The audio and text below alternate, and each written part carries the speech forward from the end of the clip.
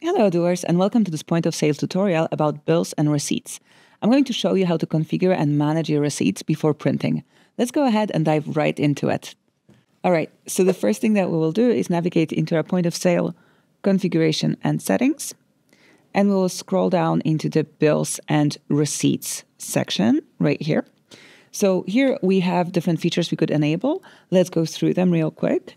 So we have a custom header and footer. This is a feature that allows you to add a message or any other information to the receipts header and footer. Then we have the SMS enabled, which allows you to text the receipt to your customers if you prefer to do it like that. Then you have the basic receipt. So this one allows printing a receipt with basic information. Uh, so it contains everything except for the price. Then we also have automatic receipt printing.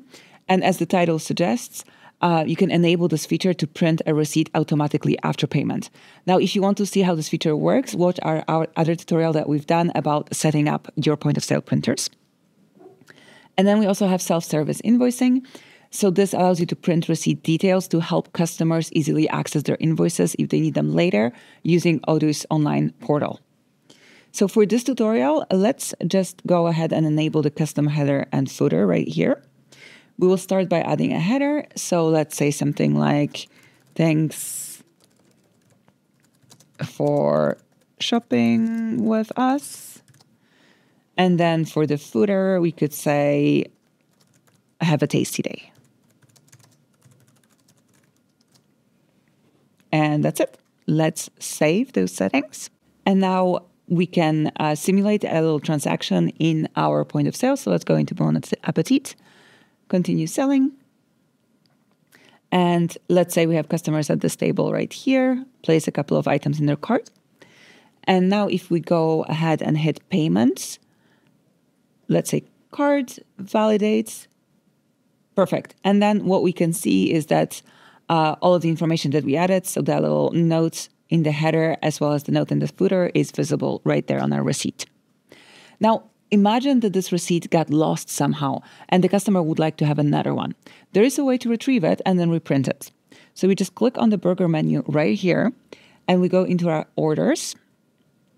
And if we choose from the drop down menu right here, we can choose our paid orders. Try and find our previous transaction. In this case, it's the last one we've had. And all we need to do is just click print receipt and our print uh, our receipt will be printed again on our point of sale printer. Perfect. Let's talk a little bit about the bills now. So at restaurants and bars, it's pretty common to ask for the bill when you're ready to pay. Now, Odoo Point of Sale provides a feature to accomplish this task. So let's just, excuse me, let's just go back into the backend. And we'll go into our point of sale configuration and settings again.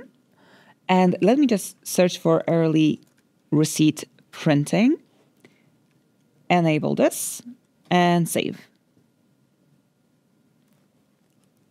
And now if we go again into our point of sale uh, session, we're going to go ahead and simulate another transaction right here. And here now, if we go into the actions menu and click on bill, we have our request for payment ready and available for printing if we wish to give it uh, to our customer. Perfect. That's it for today.